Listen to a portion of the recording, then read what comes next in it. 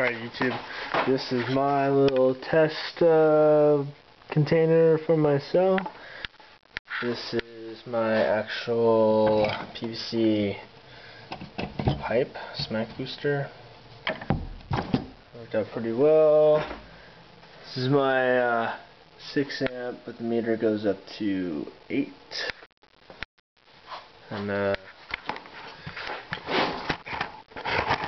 yeah, well, uh, I'll turn this on, show you guys how it looks. Maybe you guys can give me some pointers and help me out.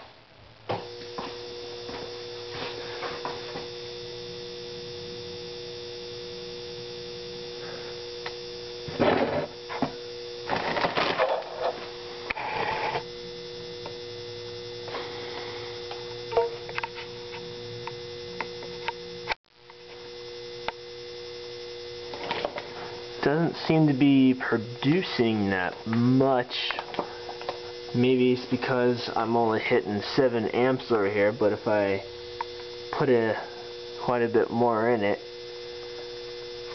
it uh, the breaker in it will trip out after 8 amps, so I don't know how you guys do it to get it up to 20 amps, but if one of you guys could uh,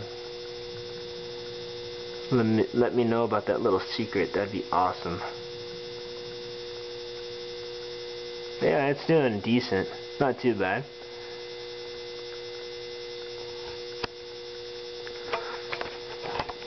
So yeah, and uh, all you guys use different types of uh,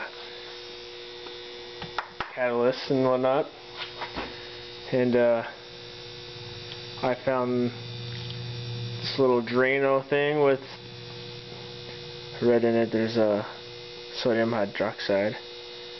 So uh, I don't know if that's 100% or just a little bit. Doesn't say, but it seems to work so far.